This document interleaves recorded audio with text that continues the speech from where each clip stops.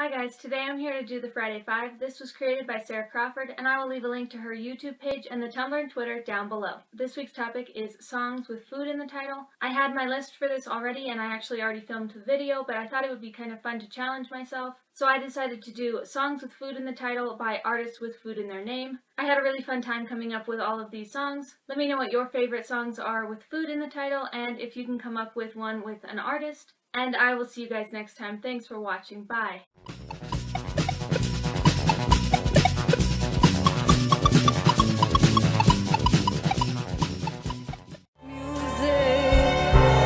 lamps flow like honey and heavy with moon.